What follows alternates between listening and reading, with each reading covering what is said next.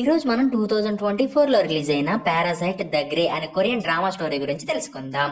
ఈ డ్రామా స్టార్టింగ్లో ఆకాశం నుండి వింత ఆకారంలో ఉన్న లార్వ లాంటివి భూమి పైన పడుతూ ఉంటాయి. అందులో ఒకటి ఒక కాన్సెప్ట్ జరిగే ప్లేస్లో పడుతుంది. కొంచెం సేపటి తర్వాత ఆ లార్వ లాంటి దానిలో నుండి ఒక విచిత్రమైన పురుగు బయటకు వచ్చి అది నేరుగా తనకి దగ్గరలో ఉన్న మనిషి వైపు వెళ్తూ ఉంటుంది. నెక్స్ట్ ఈ పురుగు ఆ మనిషి బాడీ పైకి వెళ్ళి తర్వాత ఆ మనిషి చెవి లోపల నుండి అతని బాడీలోకి ఎంటర్ అవుతుంది.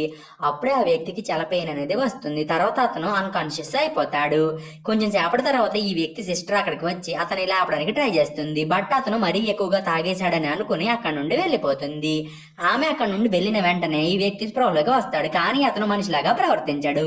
ఎందుకంటే అతని చెవులోకి దూరిన పురుగు అతని మెదడులోకి ఎంటర్ అయ్యి అతన్ని పూర్తిగా కంట్రోల్ చేస్తూ ఉంటుంది.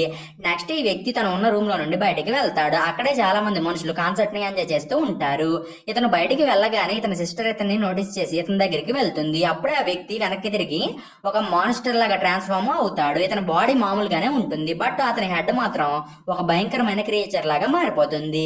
అలాగే ఆ క్రియేచర్కి చాలా షార్ప్ బ్లడ్స్ ఉంటాయి. వాటితోనే ఆ క్రియేచర్ ఆ కాన్సెప్ట్లో ఉన్న వాళ్ళందరిపైన అటాక్ చేసి అందరినీ కూడా చంపేస్తూ ఉంటుంది.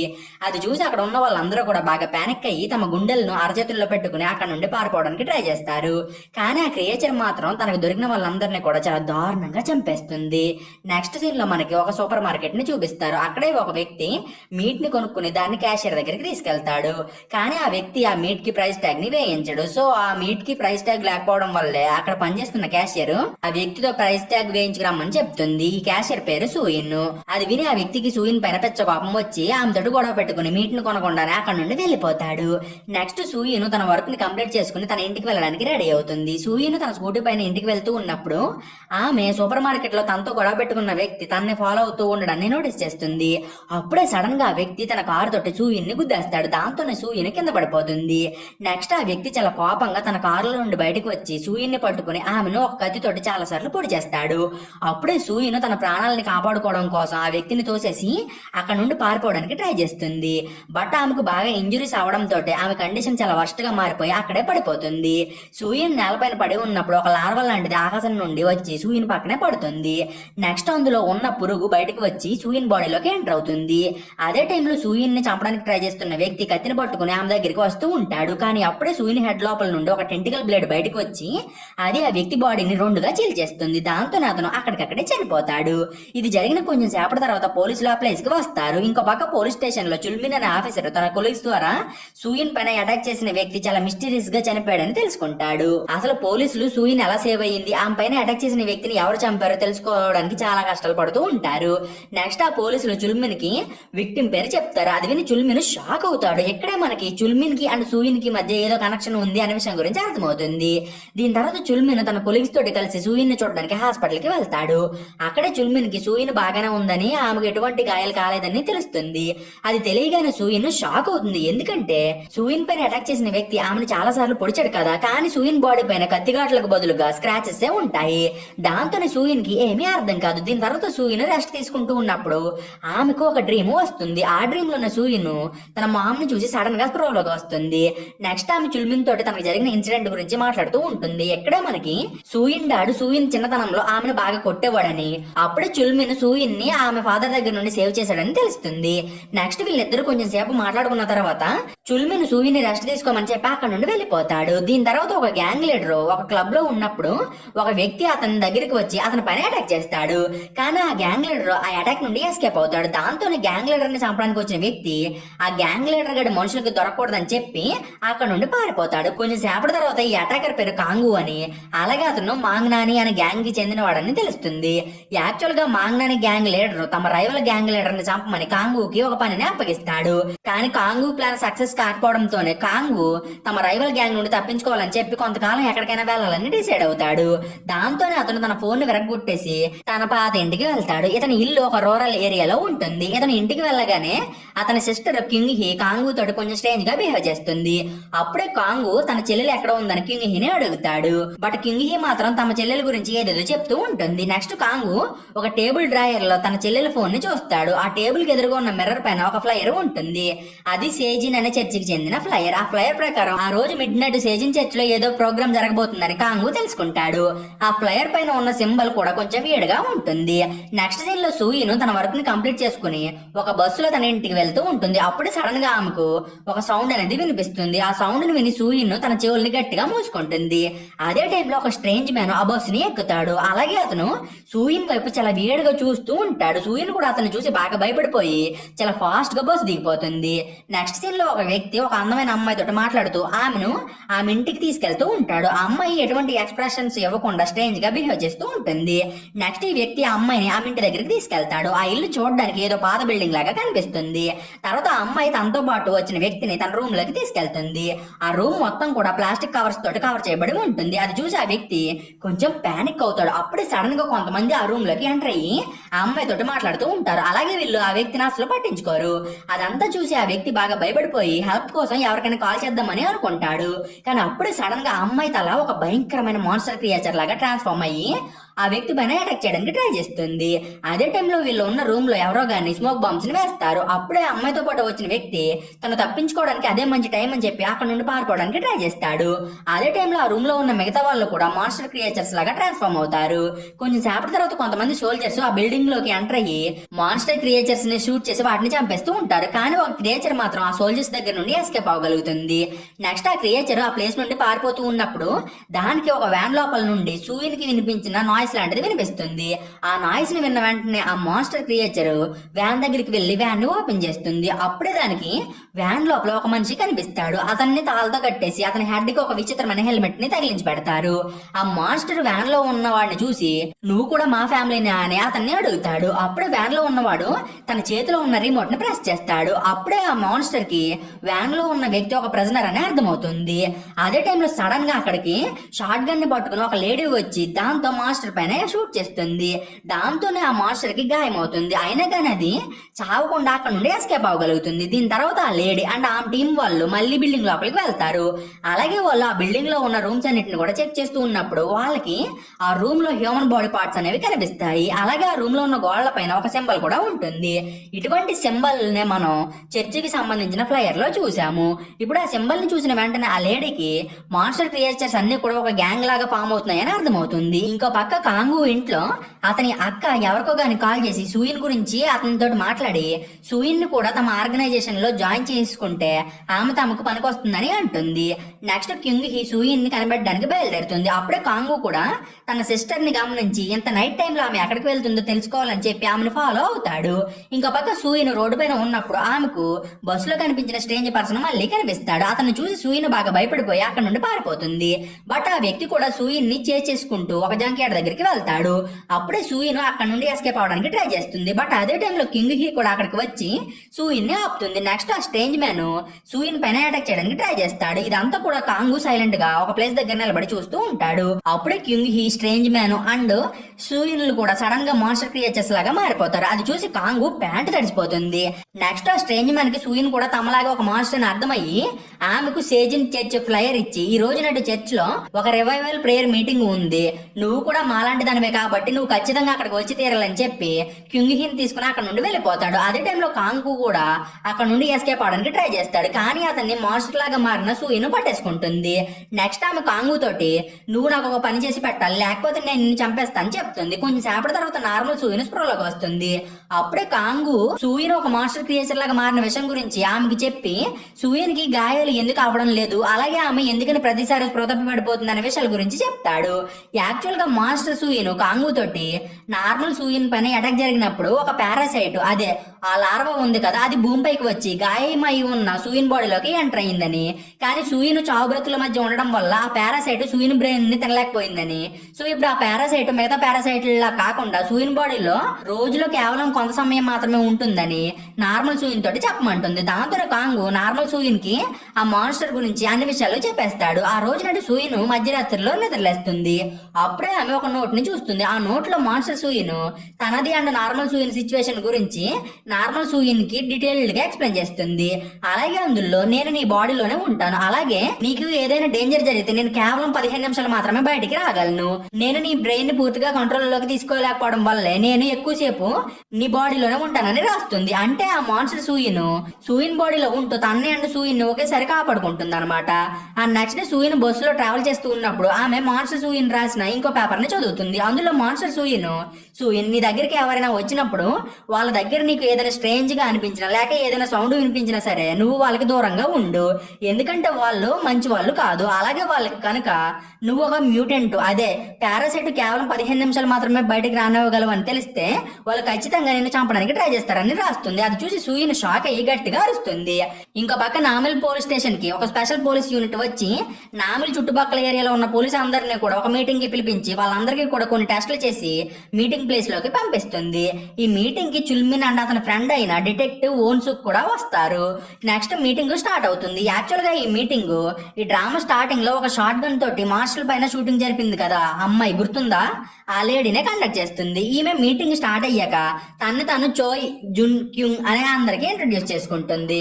ఈమె పారాసైట్ స్పెషల్ ఫోర్స్ యూనిట్ అయిన టీమ్ గ్రే కి హెడ్ జున్ క్యూంగ్ చాలా పారాసైట్స్ ఆల్రెడీ భూమి పైకి వచ్చి తమకి మ్యాచ్ అయిన హ్యూమన్ బాడీస్ని హోస్ట్గా మార్చుకున్నాయని మీటింగ్కి వచ్చిన పోలీస్ అందరికి కూడా చెప్తుంది. అలాగే ఆమె ఒక వీడియోని ప్లే చేస్తుంది. ఈ వీడియోని ఈ డ్రామా స్టార్టింగ్లో మనం ఒక కాన్సెప్ట్ని చూసాం కదా అక్కడ రికార్డు చేస్తారనమాట ఆ వీడియోని చూసి అక్కడ ఉన్న వాళ్ళందరూ కూడా షాక్ అవుతారు. అప్పుడే జున్ కింగ్ ఆ మధ్యలో ఉన్న వ్యక్తి డెడ్ బాడీని అక్కడ ఉన్న వాళ్ళందరికీ చూపిస్తుంది. దాన్ని చూసిన వెంటనే అందరూ కూడా బాగా భయపడిపోతారు.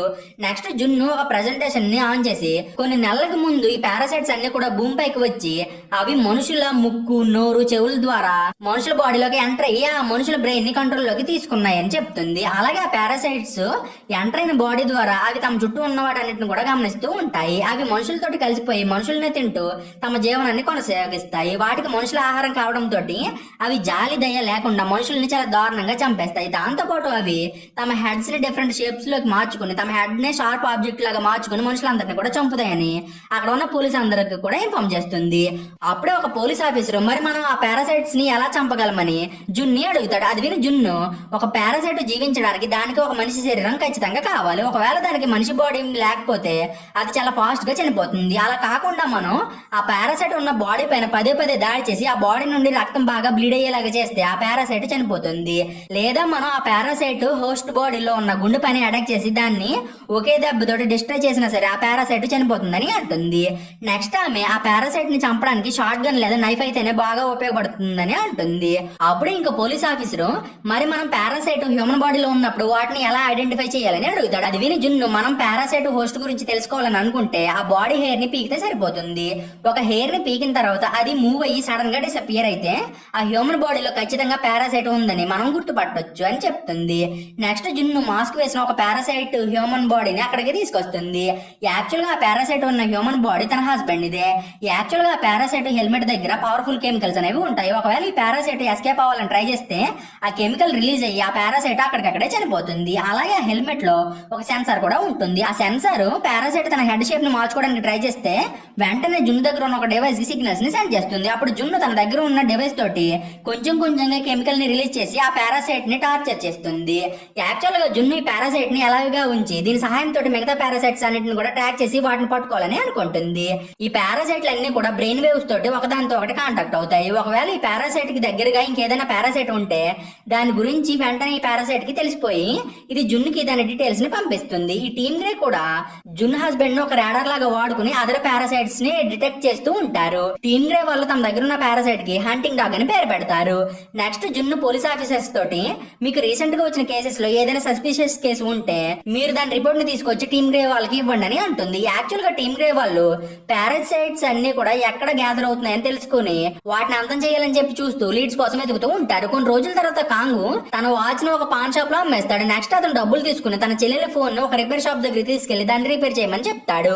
నెక్స్ట్ కాంగు పక్కనే ఉన్న బైక్ షాప్లోకి వెళ్ళి షాప్ ఓనర్ని కలిసి తక్కువ రేట్లో ఉన్న బైక్ గురించి అడుగుతాడు. అలాగే వీళ్ళిద్దరికి ఒక డీల్ కూడా కుదురుతుంది. దీని తర్వాత కాంగ్ తన చెల్లి ఫోన్ని రిపేర్ చేయించేసుకుని బైక్ షాప్కి వస్తాడు. కానీ అప్పుడే అతనికి ఆ షాప్ ఓనర్ తన గురించి తన రైవల్ గ్యాంగ్కి ఇన్ఫార్మ్ చేశాడని తెలుస్తుంది. ఆ రైవల్ గ్యాంగ్ వాళ్ళు కూడా అక్కడికి వచ్చి కాంగు పైన అటాక్ చేస్తారు బట్ మనోడు మాత్రం ఒక బైక్ని తీసుకుని అక్కడ నుండి ఎస్కేప్ అవ్వగలుగుతాడు. లేటర్ కాంగు బోట్స్ ఉండే ప్లేస్ దగ్గరికి వెళ్ళి మిన్ అనే వ్యక్తికి కాల్ చేసి మన రైవల్ గ్యాంగ్ వాళ్ళు నా వెనక పడుతున్నారని అంటాడు. ఇక్కడే మనకి మిన్ను కూడా కాంగు లాగే మాంగ్నాని గ్యాంగ్ మెంబర్ అని తెలుస్తుంది. నెక్స్ట్ కాంగు మనం ఈ రోజు నైట్ కలుసుకుందామని చెప్పి కాల్ని కట్ చేస్తాడు. కొంచెం సేపటి తర్వాత కాంగు సేజింగ్ చర్చి ప్యాంప్లెట్ని బయటికి తీసి దాన్ని చూస్తాడు. అలాగే అతను తన చెల్లి అక్కడే ఉండి ఉంటుందని అనుకుని ఆ ప్లేస్కి వెళ్ళాలని డిసైడ్ అవుతాడు. ఇంకో పక్క టీమ్ గ్రే వర్క్ ప్లేస్కి ఉన్సుక్ వెళ్ళి తన కూడా టీమ్ గ్రే జాయిన్ చేయించుకోమని జున్ని అడుగుతాడు. అప్పుడే జన్ మీరు మాకు పారాసైట్స్ని పట్టుకోవడంలో హెల్ప్ చేస్తే నేను మీ గురించి పై ఆఫీసర్స్ దగ్గర మంచిగా చెప్తా అని అంటుంది. అప్పుడే వాన్స్ యొక్క జన్కి థ్యాంక్స్ చెప్పి అక్కడ నుండి వెళ్ళిపోతాడు. అదే టైంలో సూయిను సూపర్ మార్కెట్లో వర్క్ చేసుకుంటూ ఉంటుంది. అప్పుడే చుల్మిన్ ఆమె దగ్గరికి వచ్చి ఆమెను లంచ్కి ఇన్వైట్ చేస్తాడు. కానీ యాక్చువల్గా అతను సూయిను పారాసైటా కాదని తెలుసుకోవడానికి ఆమె దగ్గరికి వస్తాడు. నెక్స్ట్ అతను సూయిన్తో మాట్లాడుతూ నీ జుట్లో ఒక తెల్ల వెంట్రుక ఉందని చెప్పి ఆమె వెంట్రుకను పీకేస్తాడు. నెక్స్ట్ అతను ఆ హెయిర్ని ఎగ్జామిన్ చేస్తాడు. కానీ ఆ హెయిర్ డిసపియర్ అవ్వదు దాంతో చుల్మిన్ సూయన్ పారాసైట్ కాదని కన్ఫర్మ్ చేసుకుంటాడు. వీళ్ళు అలా మాట్లాడుకుంటూ ఉన్నప్పుడు సూయిన్కి ఒక నాయిస్ అనేది వినిపిస్తుంది. దాంతోనే ఆమెకు ఇంకా పారాసైట్ తన దగ్గరలో ఉందనే విషయం గురించి అర్థమవుతుంది. అప్పుడే ఒక పారాసైట్ రోడ్డు పైన నడుస్తూ సూయన్ని చూస్తాడు. నెక్స్ట్ చుల్మిన్ అక్కడ నుండి వెళ్ళిపోతూ సూయన్కి ఒక కీ చైన్ గిఫ్ట్గా ఇస్తాడు.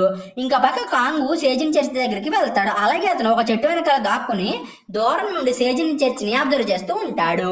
అప్పుడే ఆ చర్చ్ దగ్గరికి చాలా మంది వచ్చి గ్యాదర్ అవుతారు. వాళ్ళలో సూయన్ కూడా ఉంటుంది. యాక్చువల్గా కాంగు అక్క అండ్ ఆమెతో పాటు ఉన్న వ్యక్తి సూయన్ని బలవంతంగా ఆ ప్లేస్కి తీసుకొస్తారు. నెక్స్ట్ కాంగు సేజిన్ చర్చి పక్కన ఉన్న ఒక మిస్టీరియస్ బిల్డింగ్ని చూస్తాడు. దాంతో అతను ఆ బిల్డింగ్ లోపల ఏముందో చెక్ చేద్దామని చెప్పి పరిగెత్తుకుంటూ ఆ బిల్డింగ్ లోపలికి వెళ్తాడు. మీన్ వెల్ సూయిన్ పాటు చాలా మంది పారాసైట్స్ చర్చ్లో గ్యాదర్ అయ్యి పారాసైట్స్ లీడర్ అయిన చర్చ్ పాస్టర్ మాటలను వింటూ ఉంటారు. అప్పుడే ఆ పాస్టర్ ఒక వీడియో మెసేజ్ని అక్కడ ఉన్న పారాసైట్స్ అన్నిటికీ కూడా చూపిస్తాడు.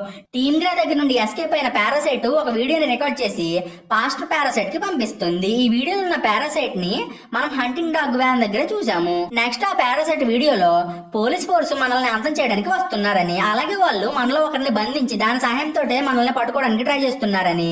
ఇప్పుడు కనుక పారాసైట్స్ అన్ని ఒక ప్లాన్తో రాకపోతే టీమ్ గ్రే వాళ్ళు తొందరలోనే పారాసైట్స్ అన్నిటిని కూడా చంపేస్తారని చెప్పి చనిపోతుంది. ఇంకా పక్క కాంగు ఏదోలాగా బిల్డింగ్ లోపలికి ఎంటర్ అవుతాడు. అక్కడ అతనికి చాలా మంది మనుషుల డెడ్ బాడీస్ కనిపిస్తాయి. వాటన్నిటిని కూడా ఒక కవర్లో ప్యాక్ చేసి పెడతారు. అదే టైంలో ఒక పారాసైట్ ఆ బిల్డింగ్ లోకి వస్తుంది. దాన్ని చూసిన వెంటనే కాంగు దానికి కనిపించకుండా దాక్కుంటాడు. నెక్స్ట్ అతను ఆ ప్లేస్ దగ్గర నుండి ఎస్కేప్ అవడానికి ట్రై చేస్తూ ఒక డెడ్ బాడీని చూసి ఆగిపోతాడు. యాక్చువల్గా ఆ డెడ్ బాడీ తన చెల్లిది. ఇప్పుడు తన చెల్లి చనిపోయిందని తెలియగానే మనోడికి పెచ్చ కోపం వచ్చి బిల్డింగ్ లోపల ఉన్న పారాసైట్ పని అటాక్ చేసి అక్కడ నుండి ఎస్కేప్ అవడానికి ట్రై చేస్తాడు. కాంగు బిల్డింగ్లో చేసిన సౌండ్స్ అన్ని కూడా చర్చ్లో ఉన్న వాళ్ళందరికీ కూడా వినిపిస్తాయి. దాంతో పాస్టర్ మన ప్లేస్కి ఎవరో మనిషి వచ్చాడు. ఇప్పుడు మనం సేఫ్గా ఉండాలంటే మీరు వాడిని చంపేయండి అని చెప్పి కొన్ని పారాసైట్స్ని కాంగు వెనకాల పంపిస్తాడు. అదే టైంలో కాంగు చాలా భయపడుతూ అడవిలో పరిగెత్తుకుంటూ వెళ్తాడు. అప్పుడే అతని రైవల్ గ్యాంగ్ కాంగుని వెతుక్కుంటూ ఆ ప్లేస్కి వస్తుంది. అప్పుడే కాంగు ఆ గ్యాంగ్ వాళ్ళందరినీ కూడా అక్కడ నుండి పారిపోమని చెప్తాడు. బట్ వాళ్ళు మాత్రం కాంగు చెప్పేది అసలు పట్టించుకోరు. అప్పుడే అక్కడికి కాంగు అక్క ఇంకొన్ని పారాసైట్స్ వచ్చి గ్యాంగ్ మెంబర్స్ పైన అటాక్ చేసి వాళ్ళని చాలా దారుణంగా చంపేస్తాయి. ఈ పారాసైట్స్ గ్యాంగ్ మెంబర్స్ పైన అటాక్ చేస్తూ ఉన్నప్పుడు కాంగు అక్కడ నుండి ఎస్కేప్ అవుతాడు. కొంచెం సేపటి తర్వాత కాంగు అడవిలో పరిగెడుతూ సూయిని మీట్ అవుతాడు. నెక్స్ట్ వీళ్ళిద్దరూ కలిసి దగ్గరలో ఉన్న గ్యాస్ స్టేషన్కి వెళ్తారు. అక్కడే కాంగు తన ఫ్రెండ్ అయిన మిన్ని కలుస్తాడు. ఇప్పుడు కాంగు వాళ్ళు మిన్ని కలిసి అర్జెంట్గా కార్ తీయమని చెప్పి కార్లోకి వెళ్ళి కూర్చుంటారు. నెక్స్ట్ మిన్ను కార్ డ్రైవ్ చేస్తూ ఉన్నప్పుడు సడన్గా కాంగుని చంపడానికి ట్రై చేస్తాడు. ఇక్కడే కాంగుకి మిన్ను రైవల్ గ్యాంగ్తో కలిసిపోయి తన చంపడానికి ట్రై చేస్తున్నాడని అర్థమవుతుంది.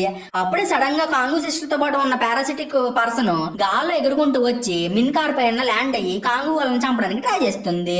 అప్పుడే కాంగు ఆ పారాసైట్ దగ్గర నుండి తప్పించుకోవడానికి కార్ని రోడ్డు పైన నుండి వుడ్స్లోకి పోనిస్తాడు అప్పుడే కారు ఒక చెట్టుకు గుద్దుకుని ఒక కొండ చివరకు వెళ్ళి ఆగుతుంది. అదే టైంలో సూయను డేంజర్లో ఉందని సెన్స్ చేసి ఆమె లోపల ఉన్న పారాసైట్ బయటకు వస్తుంది. నెక్స్ట్ మాస్టర్ సూయను కాంగుని చంపడానికి వచ్చిన వ్యక్తితో ఫైట్ చేసి అతన్ని చంపేస్తుంది. తర్వాత ఆమె మళ్ళీ నార్మల్గా మారిపోతుంది. ఇంకా పక్క కాంగు కొండపై నుండి కింద పడిపోతూ ఉన్న కారు నుండి బయటకు రావడానికి ట్రై చేస్తాడు. అప్పుడే అతను అనుకోకుండా కార్ ఫ్రంట్లోకి వెళ్ళిపోయి కార్ని పట్టుకుని వేలాడతాడు. అదే టైంలో సూయన్ అక్కడికి వచ్చి కాంగుని సేవ్ చేయడానికి ట్రై చేస్తుంది. కానీ ఆమె అంత స్ట్రాంగ్గా లేకపోవడం మాన్సర్ మాన్స్టర్ సూయన్ బయటకు వచ్చి తన టెంటికల్స్ తోటి కాంగుని పట్టుకుని అతన్ని సేవ్ చేస్తుంది. మీరు అలా టీమ్ గ్రే హెడ్ క్వార్టర్స్ దగ్గర జంకింగ్ సూయిన్ అటెంప్టెడ్ మర్డర్ కేసు ఫైల్ని చూస్తుంది. అప్పుడే ఆమె ఆ ఫైల్ని డీటెయిల్గా చదివి సూయిన్ ఒక పారాసైట్ అయి ఉంటుందని భావిస్తుంది. నెక్స్ట్ సీన్లో మనకి జన్ ఫ్లాష్ బ్యాక్ని చూపిస్తారు. జన్ తన హస్బెండ్తో కలిసి సూపర్ మార్కెట్కి వెళ్ళినప్పుడు ఒక పారాసైట్ ఆకాశం నుండి కింద పడి జన్ హస్బెండ్ బాడీలోకి వెళ్ళి అతను ఒక మాన్స్టర్ లాగా మార్చేస్తుంది. ముందు జన్ను తన హస్బెండ్తో కలిసి షాపింగ్ని కంప్లీట్ చేసుకుని కార్లో సామాన్లు సర్దుతూ ఉంటుంది. అప్పుడే జన్ను షాపింగ్ రిసిట్ని మర్చిపోవడం తోటి ఆమె రిసిట్ తీసుకోవడానికి మళ్ళీ సూపర్ మార్కెట్లోకి వెళ్తుంది. అదే టైంలో జన హస్బెండ్ తమ కార్ పైన ఒక లారో లాంటి దాన్ని నోటీస్ చేస్తాడు. నెక్స్ట్ ఆ లారో లాంటి దానిలో నుండి ఒక పురుగు వచ్చి జన హస్బెండ్ బ్రెయిన్లోకి ఎంటర్ అవుతుంది. దాంతో జన హస్బెండ్ ఒక పారాసైట్ లాగా ట్రాన్స్ఫార్మ్ అవుతాడు. మార్కెట్ లోపల జన్ను రిసిట్ తీసుకుని తమ కార్ దగ్గరికి వెళ్తూ ఉంటుంది. అప్పుడే కొంతమంది గట్టి గట్టిగా అరుచుకుంటూ మార్కెట్ లోపల పరిగెడుతూ ఉంటారు. అదే టైంలో జన హస్బెండ్ కూడా లోపలికి వచ్చి ఒక మాన్స్టర్ లాగా మారి మార్కెట్లో ఉన్న వాళ్ళందరి పైన కూడా అటాక్ చేస్తాడు. అది చూసి జన్ను తన హస్బెండ్ దగ్గరికి వెళ్తుంది. బట్ అతను జన్ను పైన కూడా అటాక్ చేసి తన టెంటికల్స్ తోటి జన్ను చెవిని కోసపడేస్తాడు నెక్స్ట్ అతను జన్ను చంపడానికి ఆమె వెనకాలే వెళ్తాడు. అప్పుడే జన్ను చాలా తెలివిగా తన హస్బెండ్ ఒక రూమ్లో బంధిస్తుంది.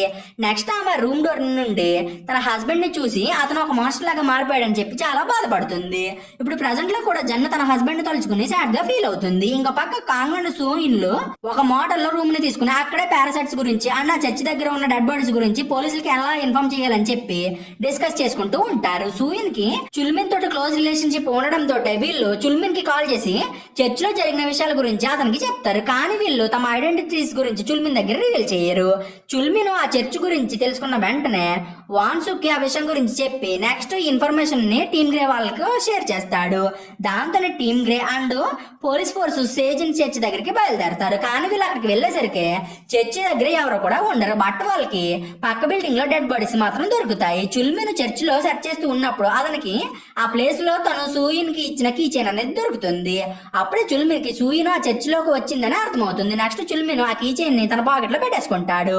జన్ను కూడా దాన్ని నోటీస్ చేసి చుల్మిన్ పైన అనుమానం పడుతుంది. ఇప్పుడు పారాసైట్స్ సేజిన్ చర్చ్ తమ అడ్డగా మార్చుకున్నాయని తెలిసిన వెంటనే టీమ్ గ్రే ఆ పారాసైట్స్ లీడర్ అయిన పాస్టర్ని పట్టుకోవడానికి ప్లాన్స్ వేస్తారు. ఆ పాస్టర్ పేరు క్వాన్ హ్యూబ్జు. అప్పుడే ఓన్సీ యొక్క ఆ పారాసైట్స్ని పట్టుకోవడానికి హెల్ప్ చేస్తా అని అంటాడు. దానికి జున్ను కూడా ఒప్పుకుంటుంది. నెక్స్ట్ ఓన్సుక్ ఒక మిస్టీరియస్ బిల్డింగ్లోకి ఎంటర్ వెళ్తాడు అక్కడ హిబ్జు అండ్ అతనితో పాటు చాలా పారాసైట్స్ దాగుని ఉంటాయి. ఇక్కడే మనకి ఓన్సీ యొక్క ఈ పారాసైట్స్ తోటి చేతులు కలిపి అవి సోజిన్ చర్చ్ నుండి ఎస్కేప్ అవడానికి హెల్ప్ చేశాడు అనే విషయం గురించి తెలుస్తుంది. ఓన్సీ యొక్క హిబ్జుని మీట్ అవ్వగానే అతను ఓన్సుకి తన టెంటికల్స్తో తయారు చేసిన ఒక కత్తిని ఇచ్చి దాంతో హంటింగ్ డాగ్ని చంపమని చెప్తాడు. ఇంకో పక్క సూమిన్ వాళ్ళు మోటల్లో ఉన్నప్పుడు చుల్మిన్ సూయిన్కి కాల్ చేసి ఆమెను మీట్ అవ్వమని చెప్తాడు. నెక్స్ట్ వీళ్ళు ఒక అమ్యూజ్మెంట్ పార్క్ దగ్గర మీట్ అవుతారు. కాంగు కూడా సూయిన్తో పాటు అక్కడికి వస్తాడు. జన్ను కూడా చుల్మిన్ తెలియకుండా అతను సీక్రెట్గా ఫాలో అవుతూ అతని వెనకాలే అమ్యూజ్మెంట్ పార్క్ దగ్గరికి వెళ్తుంది. అలాగే ఆమె అమ్యూజ్మెంట్ పార్క్ దగ్గరికి రమ్మని తన టీం కూడా ఇన్ఫార్మ్ చేస్తుంది. నెక్స్ట్ చుల్మిన్ సూయన్తో మాట్లాడుతూ ఆమె సేజిన్ చర్చ్లో పడేసుకున్న కీచెన్ ఆమెకి చూపించి అసలు నువ్వు ఆ చర్చ్లో ఏం చేస్తున్నావు అని ఆమెను అడుగుతాడు. అప్పుడే సడన్గా సూయన్కి ఒక నాయసు వినిపిస్తుంది. అప్పుడే ఆమెకు ఇంకో పారాసైట్ అక్కడికి దగ్గరలో ఉందని తెలుస్తుంది. అది ఇంకెవరో కాదు అది హంటింగ్ డాగ్గే నెక్స్ట్ జన్ను ఒక గన్ను తీసుకుని అక్కడికి వస్తుంది. అప్పుడే కాంగు అండ్ సూయన్లు జన్ను చూసి అక్కడ నుండి ఎస్కేప్ అవడానికి ట్రై చేస్తారు ఇప్పుడు వాళ్ళు షట్ డౌన్ అయిన ఒక ప్లేస్ దగ్గరికి వెళ్ళి దాక్కుంటారు. వాళ్ళు వెనకాలే జన్ను కూడా వస్తుంది. Meanwhile team grand police officers amusement park దగ్గరికి రీచ్ అవుతారు. ఓన్సియక్ కూడా అందరికంటే లేట్గా అమ్యూజ్మెంట్ పార్క్ దగ్గరికి వచ్చి ఎవరు లేని టైం చూసుకుని హంటింగ్ డాగ్ని చంపడానికి రెడీ అవుతాడు. అదే టైంలో మాస్టర్ సూయిన్ బయటకు వచ్చి నేను జన్ని చూసుకుంటాను. నువ్వు ఇక్కడ నుండి ఎస్కేప్ అవ్వు అని కాంగుకి చెప్తుంది. దాంతో కాంగు అక్కడ నుండి వెళ్ళిపోతాడు. అదే టైంలో సూయిన్ జన్ని డైవర్ట్ చేసి తర్వాత ఆమె దగ్గర నుండి ఎస్కేప్ అవడానికి ట్రై చేస్తుంది. కానీ అప్పుడే టీమ్ గ్రే మెంబర్స్ అక్కడికి వచ్చి సూయన్ని చుట్టుముట్టేస్తారు. దాంతో మాన్సర్ సూయిన్ నార్మల్గా మారి స్పృహ పడిపోతుంది. నెక్స్ట్ చుల్మిన్ సూయిన్ దగ్గరికి వెళ్ళి ఆమెను ప్రొటెక్ట్ చేయడానికి ట్రై చేస్తాడు. మీన్ వాళ్ళు కాంగు అక్కడ నుండి ఎస్కేప్ అవుతూ ఓన్సీ యొక్క హంటింగ్ డాగ్ని చంపడాన్ని చూస్తాడు. హంటింగ్ డాగ్కి ఇంజురీస్ అయిన వెంటనే అది తన దగ్గర ఉన్న రిమోట్ని ప్రెస్ చేసి జన్కి సిగ్నల్ని పంపిస్తుంది. దాంతో జన్ దగ్గరలో ఇంకా పారాసైట్ ఉందని అనుకుని హంటింగ్ డాగ్ దగ్గరికి వెళ్తుంది. కానీ ఆమె హంటింగ్ డాగ్ దగ్గరికి వెళ్ళేసరికి అతను చనిపోయి ఉంటాడు. అది చూసి జన్కి పెచ్చ కోపం అనేది వచ్చి హంటింగ్ డాగ్ హెల్మెట్ని తీసుకుని సూయన్ దగ్గరికి వెళ్తుంది. కాంగు ఒక పోలీస్ ఆఫీసర్ మర్డర్ చేయడాన్ని చూసి బాగా భయపడిపోయి అక్కడ నుండి పారిపోతాడు. కొంచెం సేపటి తర్వాత ఓన్సీ యొక్క తనకి ఏమీ తెలియదు అన్నట్టు సూయన్ ఉన్న ప్లేస్కి వచ్చి అక్కడ చాలా కామ్గా నిలబడి అక్కడ జరిగేదంతా చూస్తూ ఉంటాడు. మీన్ వెళ్ళి చుల్మిన్ సూయన్ని షూట్ చేయొద్దని చెప్పి టీమ్ గ్రే వాళ్ళని బ్రతిమలాడతాడు. కానీ వాళ్ళు మాత్రం చుల్మిన్ చెప్పేది పట్టించుకోకుండా అతను అక్కడ నుండి తీసుకెళ్ళిపోతారు నెక్స్ట్ జన్ను తను తీసుకొచ్చిన హెల్మెట్ని సూయన్ తలకి తొడుగుతుంది. అలాగే ఆమె సూయన్ కూడా తన హస్బెండ్ని బంధించినట్టుగానే బంధిస్తుంది. ఇక్కడితోటి పారాసైట్ దగ్గరే పార్ట్ వన్ అనేది ఎండ్ అవుతుంది. మీకు ఈ వీడియో నచ్చిందని అనుకుంటున్నాను. ఒకవేళ మీకు కనుక ఈ వీడియో నచ్చితే ఒక లైక్ కొట్టి నెక్స్ట్ పార్ట్ ఎక్స్ప్లెనేషన్ వీడియో కోసం ఒక కామెంట్ని చేయండి. మీరు కామెంట్ చేస్తేనే కదా మీకు నెక్స్ట్ పార్ట్ కావాలో వద్దని నాకు తెలిసేది. కాబట్టి కామెంట్ చేయడం మాత్రం మర్చిపోకండి. సో ఈ రోజు కింద ఫ్రెండ్స్ మీకు కనుక ఎక్స్ప్లెనేషన్ నచ్చితే ఛానల్ సబ్స్క్రైబ్ చేసి కానీ సమ్మల్ని ఆన్లో పెట్టుకోండి.